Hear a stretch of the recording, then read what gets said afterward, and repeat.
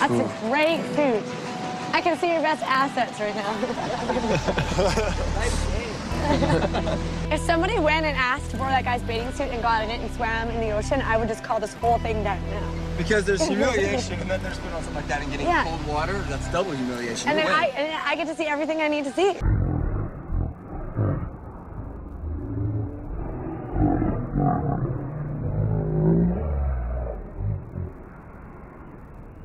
real pretty.